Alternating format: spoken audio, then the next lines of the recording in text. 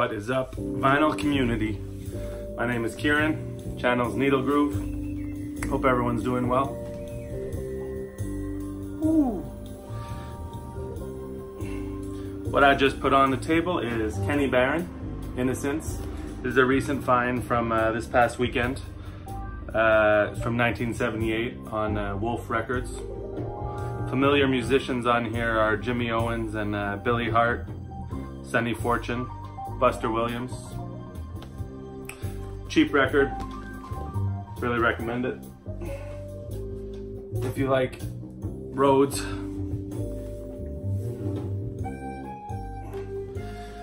Okay, last couple videos were the records I picked up in Detroit at all the shops I went to. And uh, what I have here is the records that I um, bought throughout the year, so a uh, full year of uh, online buys. There's quite a few of them. And I don't know how many I'll be able to show in this video because I got about, I gotta say, a, a crate full. Um, I would have loved to kind of listen to them all and, uh, and you know, but before showing them, but it's not really possible because it would, you know, take, it's gonna take me a while. Uh, so I'm just gonna show them because I, I, have three places I listen to records in my in my um, in my apartment, and records end up all over the place. And I already was like, okay, this is gonna get out of hand. Um, they're kind of spread out um, in different places, so I kind of just regrouped them and wanted to show them to you guys. I've listened to a bunch of them over the past. Uh, I've been back two weeks now. Um, but I, uh, you know, obviously split in what I listened to between this crate and what I brought back and stuff from my collection. Uh, so yeah, it's a mix of stuff and it's in no particular order. It's mostly jazz as usual. If you're new to my channel, um, I usually show jazz, uh, some soul, funk, stuff like that. So this is, oh, by the way, this is, uh, you know, some Discogs, some eBay, quite a bit of Instagram buys um, from other members of the VC. See, just found one spread out. Okay, so first up, Minnie Riperton. Um, Come to My Garden, orchestra arranged and conducted by Charles Stepney. Um, so this is a nice kind of, uh, picked up this one, which I showed. Actually, this was an online buy, but I showed it in my other video because I picked it up on my travels from who I bought it from. But anyway, this is on GRT. There's a repress from a year or two later on, on Janus. Um, record that I'd been seeing, you know, posted, heard talked about. Um, and yeah, uh, I think this is one that I, I, enjoyed it right off the bat, but I think the more I listen to it, it's gonna grow on me even more. I listened to this on Sunday morning when I woke up and it was just perfect. Uh, very interesting, not your typical kind of like soul album of the day. Um, bit more um, depth to it, I would say. Um, yeah, so beautiful cover and appropriate for the beautiful music contained in the grooves. Happy songs and melancholy. Morning flowers and afternoon hours and hidden memories. It's uh, appropriate. Next up is completely other end of the spectrum. This is uh, Sonny Simmons. And um, this is definitely a, a heavy piece. This is on ESP. Um, I don't even remember the name of this album to be honest. It's, I want to say, it doesn't even say it on here.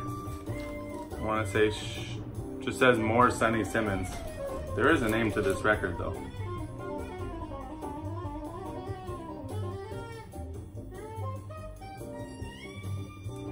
Very strange. Anyway, beautiful cover on ESP. I listened to one side of this. Um, it's it's it's heavy, but it's not like super super dense. Um, some really nice interplay between the musicians. Um, it's not just like a wall of sound like some free jazz, which is a bit much for me. But uh, Barbara Donald um, joins on trumpet, uh, Juini Booth on bass, um, and just crazy beautiful artwork here. And I love those ESP labels.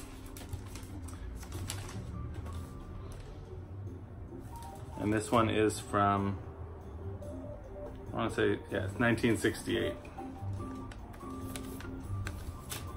I also wanted to, to show you these because as, as I listen to them, I put them in these um, Japanese sleeves. Um, and I kind of, for the more valuable ones, I'll put the records in the back. So kind of like once I once I seal them, it's kind of harder to, to pull them in and out fast, quickly to show them in videos. Um, this was a major one of mine. It was uh, the only Strata East uh, addition this year to the to the collection. Um, kind of getting harder to, to find these records and more expensive. Um, there's definitely a few I don't have, but this is one that I was able to track down for a, you know, a reasonable price. And uh, this is um, Land of the Blacks, Alkebulan, Land of the Blacks by Mtume. This is a live record, live at the East. Again, crazy, really cool, beautiful artwork, kind of representative of the music, I would say. Um, this one is, I've spun it a few times already and I, like, I like it, but I, I need to listen to it more. It's very, um, it's definitely intense, the energy on here. There are some like kind of heavy, kind of free-ish um, sounds, but, uh, and it's live too, which obviously changes the sound a little bit. Um, but this is a, a, deep, deep record, obviously um, containing um, some, I don't know how to describe the, the content, but um, you know, representative of the time of what they were experiencing. And um, yeah, you can feel it, uh, feel it in the music. Um, so different than the the Mtume album that I that I got from the 80s. It's kind of crazy to think that it's the the same uh, same musician.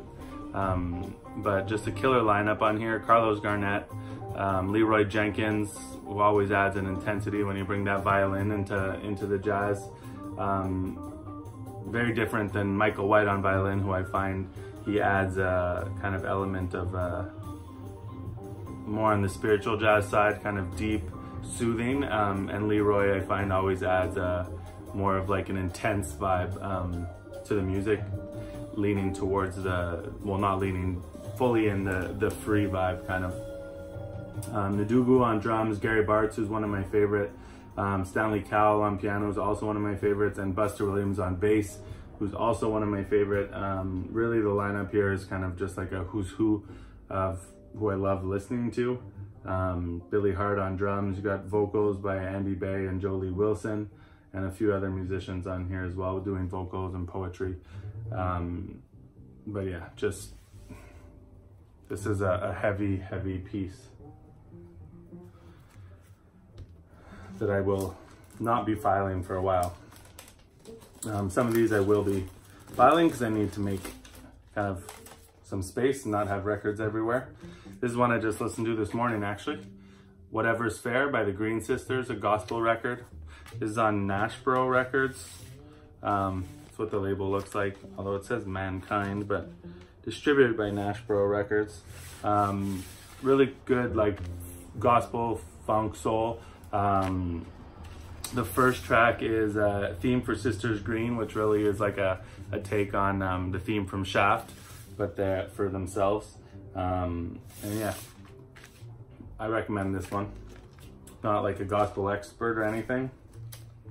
Oh, here, these are loose here. I can show them too. That's what the label for Land of the Black looks like. Really cool variation on the, the Strata East label.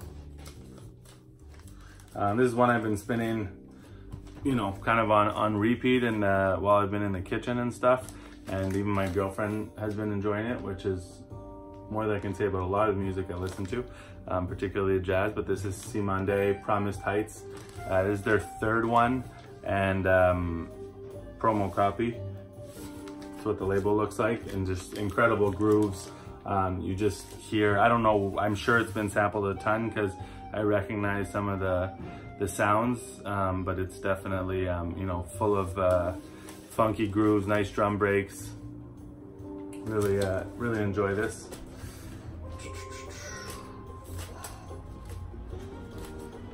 Another gospel one, Rosalind and Charles. Um, Everything Must Change.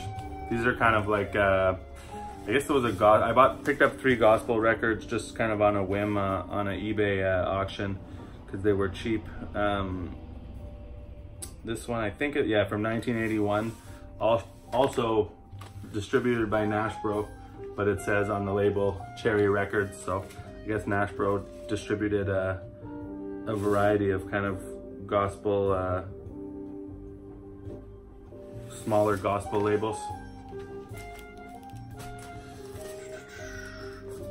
Black Jazz one I didn't have, Doug Carn, Spirit of the New Land. Um, you know, you guys know this. I didn't have this one.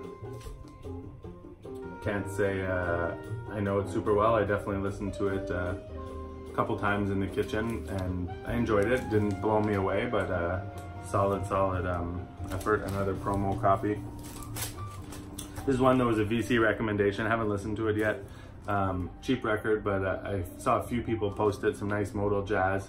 Um, the Art Farmer Quartet, Sing Me Softly of the Blues. And you have Steve Kuhn on here, Steve Swallow, and Pete LaRoca. Um, looking forward to that. And what else do I got here? This I've listened to a couple times. Really nice trio record. Um, Why Not by George Cables. Um, this is kind of that generic cover of a bunch of the re releases on Why Not. Um, trio records um, from, um, from Japan. That's what the label looks like. Not like mind-blowing must-have, but really nice uh, chill record. this is, I can say, probably my favorite. The next two are my two favorite, the ones I've listened to the most um, out of this crate so far. Um, this is Oneness of Juju, African Rhythms. This was uh, thanks to a man, Tom, uh, on Blackfire Records. Just everything that I love in a record, um, kind of funky, um, groovy jazz, um, but still deep, uh, you know, just something I can play over and over again pretty much at any time of the day, um, whether it's earlier in the morning, late at night. Um, this one's gonna resonate with me. Um, the vibe is just, for me, it's perfect. Um, so yeah, if you don't know this, recently reissued um, by Now Again and Vinyl Me Please, so definitely recommend you check this out. And another one with awesome cover work, cover art, and it's kind of represents the music well, I would say. And sometimes you see a cover and you love it and the music's a little disappointing, but this one, uh, the music definitely um, matches the awesomeness of the cover and vice versa. This is something I discovered through people posting in the VC. This is Dance by Kamal Abdul Alim and unbelievable record. Just very, very uplifting, happy, um, puts you in a good mood, jazz. Um, and it's from 1988, which is kind of crazy to think because it doesn't have any of that. Like it is, it's not as like, it's not slick like 80s records and doesn't have that 80s sounds, but it could fit in, in the 70s, but since you know it's from the late 80s, you kind of, you realize, but it's, it really balances the well, the two really nicely. And uh, incredible lineup as well. James Spaulding, um, Bobby Watson, Idris Muhammad spelled, um, spelled differently. And this is on Stash Records, label I don't know. Um, but this So it's Kamal and the Brothers. And if you just look and listen to the name of the tracks, you have Dance, um, Peace, Brotherhood, and Prayer. So that kind of gives you a, an idea of what you're in for. And honestly, the titles really represent the songs. Another one like the uh, like the Juju African Rhythms that I could pretty much listen to over and over again at any time of, of the day. And it's gonna resonate. Um, the cover on this obviously is still cool, but uh, not as deep as the uh, as the other one. More more 80s looking, um, but not super cheesy in any way. As you can see, July 26, 1988, which is um, the day before my birthday, July 27th, except not 1988. Um, highly recommend this one if you can track it down. It's kind of like gonna be one of the favorite, my favorites. Two I just showed, two of the favorite, my favorites in the collection. Um, this is a Detroit record, but one that I had bought online. Um, the Contemporary Jazz Quintet on Strata uh, location. Um, so this is um, Kenny Cox. He had released two uh, two records on Blue Note uh, in the late 60s. This one is from the early 70s, I think 73. Um, promo copy. It's in pretty good shape. There's definitely a bit of surface noise, but the cover's in like perfect condition. Um, got this for a great price. Uh, I don't know what it, it's a promo copy, but it says distributed by Strata East Records. So very strange to me. I don't know what that means for the authenticity of that. Like,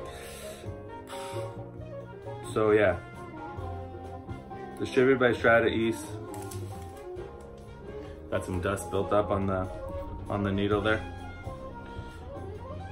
Um, so this one is I I listened to it a couple times and it's cool, it's interesting, but nowhere near, it doesn't resonate with me as much. Not something I'm gonna listen to as much as the, the last two I showed. Um, and just um, kind of almost like a play. Uh, there's definitely some like of the um, like Miles Davis vibe of the early 70s, that electric sound. Um, but it's very kind of, there's space between the, the grooves.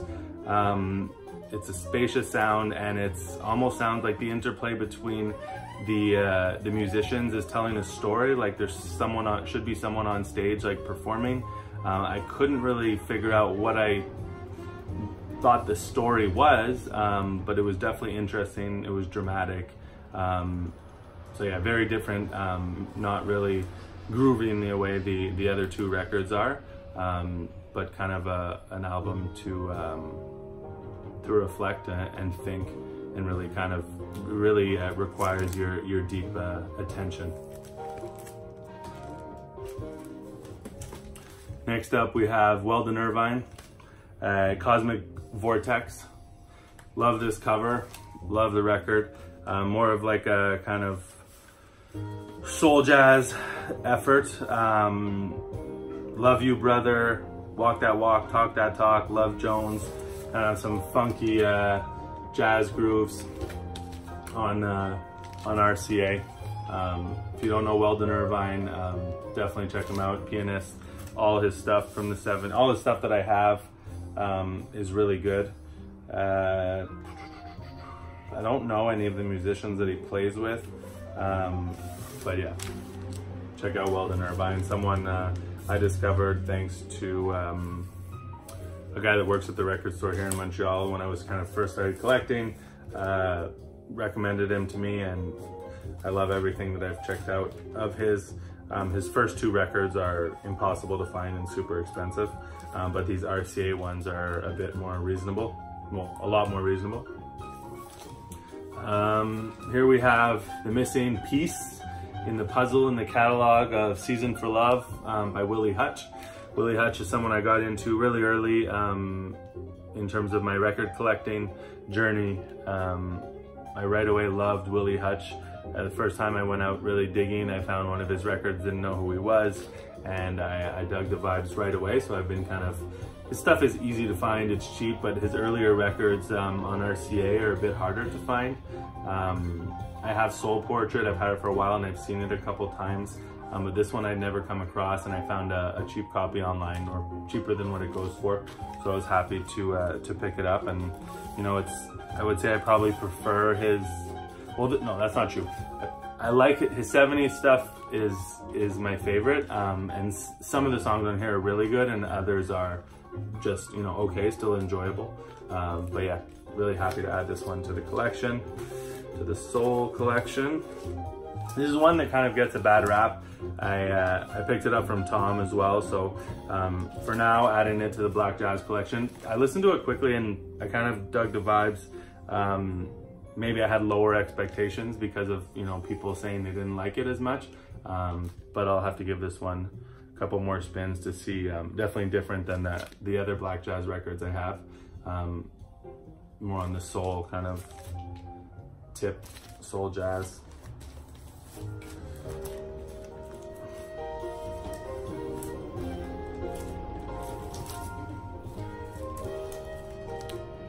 Sir Edward, Power of Feeling. Um, got this for a great price from Superior Elevation. Uh, I think they added on their Discogs. Actually, there's a note from uh, from Harold Vick inside. So if you don't know, Sir Edward is Harold Vick. Um, love this cover. This is on the Encounter label, label I didn't know about until I think a year or two ago. Um, small, uh, small label, only a few um, releases. And um, they all kind of have this, uh, this similar, um, this similar look. Um, if I'm not mistaken, it's Bernard Purdie's label, but now I can't remember. It's definitely a musician's label. I can't I can't remember, but um, if I'm wrong, correct me. I'll have to look that up after. Um, doesn't say who started the label, but I know it's a very well-known musician that we all love. So yeah, it's signed Harold Vick and then Sir Edward in brackets. May the Creator watch over you and your family. There is music in everything if man had ears. Um, and yeah, dope. Uh, Joe Bonner plays on here. David Lee.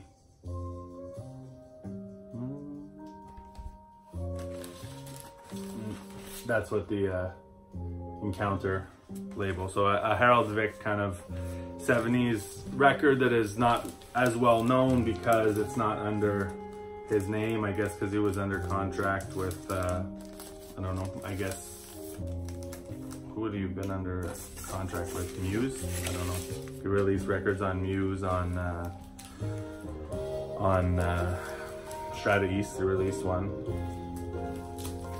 Didn't have a copy of this, so added this uh, early miles um, sextet someday my prince will come.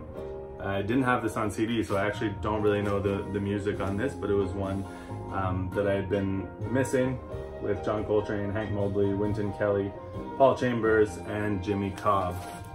I did have another miles record in here somewhere. Esp I had this on CD more from the, the later miles, well not later, but later 60s. Um, his kind of classic uh, second lineup, Miles Davis, Wayne Shorter, Tony Williams, um, Ron Carter, and Herbie Hancock. Classic, classic stuff as he starts to get into the more, um, his transition out of the early 60s stuff. Um, I got a whole bunch more, that's about half the crate. Um, but I'll probably leave it at that because I already at 23 minutes and the record is over. Um, so yeah, that's it for now. I got a whole bunch of stuff left in here. I think probably the, the heavy hitters have been shown, but there's some really good jazz left in here, um, some good soul, um, some free jazz, some more, uh, some hard bop, and all types of stuff, some funk. Anyway, hope everyone's doing well.